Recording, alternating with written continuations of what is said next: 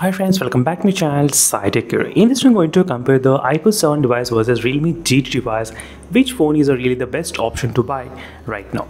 The main reason why I'm uploading this video is because the Realme GT device which has got the very good interesting deal in the flipkart website for about 29000 rupees.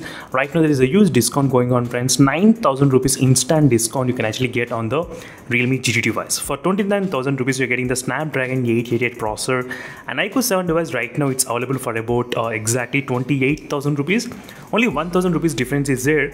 And for this 1000 extra you're getting snapdragon 888 let's see which phone is really the best option to buy right now? Since i'm getting plenty of comments regarding these both phones so that of comparing between these two devices side by side. So let us talk about each and every aspect in this video. So first thing let's talk about the performance. The snapdragon 870 and the 888 processor both are pretty powerful but the snapdragon 888 has one advantage which is Battlegrounds mobile game 90 fps can actually play in the realme gt and in the iQOO 7 device, till now there is no information about 90 FPS, not yet updated in this iQOO 7 device and there is no heating problems in the iQOO 7 device no heating problems but there is slightly the heating problem is there in the Realme GT with the Snapdragon 888 processor. So if you ask me which phone I'll prefer I'll prefer the iQOO 7 device because of stable kind of performance I'll, I'll be getting and not much heating problems. And if you try to look at the benchmarks you can clearly see here 1 lakh difference will be there between these both phones as well regarding the benchmarks and everything. And CPU throttling also is kind of okay I would say the throttling not bad because both phones do have the similar kind of throttling effect. As you can clearly see friends similar little bit but not much. As you can clearly see. So definitely friends in terms of the heating problems only I'll try to um, prefer this iQOO 7 device because this phone doesn't have much kind of heating problem Next thing we got in the display, both a 120Hz refresh rate display and if you want big screen display then go for the iQOO 7 device. If you want small screen display, Realme GT. But HDR is supported in the iQOO 7 device, Netflix HDR at this moment, Netflix HDR is not supported in the Realme GT device. So regarding the camera, camera is another strongest point for the and next thing I forgot to mention, iQOO 7 has got the display chip which is intelligent display chip which has got the game frame interpolation as well which will slightly boost the frame rates while gaming. That's a pretty good advantage. 4D vibrations. So they're fantastic feature which are present in the iQOO 7 device so next thing is regarding the cooling system as I said which is really very cool. And regarding the camera the 7 has got really very good 48 megapixel OIS triple camera setup.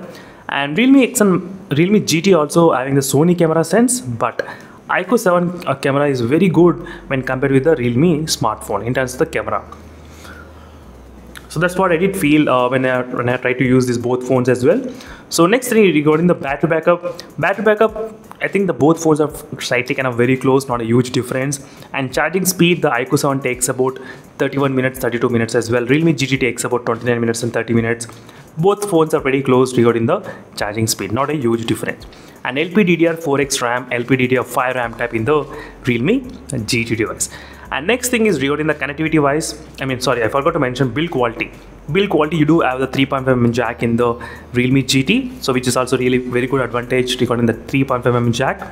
And not only that there are more 5g bands in the realme gt device. And there is only one 5g band in the iQOO 7 smartphone. That's a slightly kind of drawback at this moment in the iQOO 7 device regarding the connectivity and that's it friends, is a quick comparison between these both phones overall, which phone is really the best option to buy. Final conclusion is that Realme GT Advantage or uh, 3.5mm jack and Battery mobile game 90 FPS is there in this device and more 5G bands in the Realme GT device. These are the few advantages in this phone.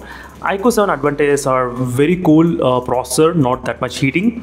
And next thing is uh, dual display chip technology, which will slightly improve the game frame interpolation and better camera setup in this iQOO 7 device. And haptic feedbacks are really same. Loudspeaker are also kind of very similar, nothing much huge difference between these both phones. So that's it friends, thank you for watching this a quick comparison between these two devices. So Android updates, Android 12 and Android 13 will be receiving, that's it. There is no Android 14 between these both phones. So thank you for watching this video friends and the meanwhile signing off until instead of more updates. Until then, bye.